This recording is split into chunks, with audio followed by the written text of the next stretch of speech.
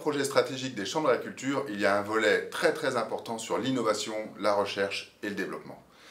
Alors c'est vraiment notre essence de travailler euh, toute cette innovation pour une agriculture qui doit absolument assumer des transitions colossales face à l'adaptation euh, au changement climatique, face à la belle opportunité euh, de valoriser une économie bas carbone,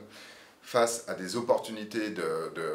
de, pouvoir faire des projets de, de territoire grâce au numérique, grâce à toutes les ruptures technologiques qui sont à notre service aujourd'hui. Donc l'enjeu, c'est finalement d'organiser euh, l'innovation, la recherche et le développement en agriculture, de faire en sorte que finalement les agriculteurs puissent avoir cette connaissance, puissent pouvoir transformer leur modèle agricole sur les, territoires.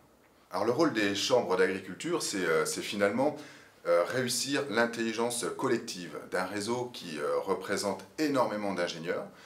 en leur associant les compétences des, instituts, de la recherche, euh, du milieu universitaire, on peut réfléchir comment est-ce qu'on peut réellement transformer euh, le modèle agricole d'une exploitation, en tout cas le faire évoluer. Donc c'est notre rôle, euh, mettre en relation toutes les régions françaises et prendre le meilleur du savoir de chacune d'entre elles pour qu'elles puissent le partager également à l'ensemble du réseau.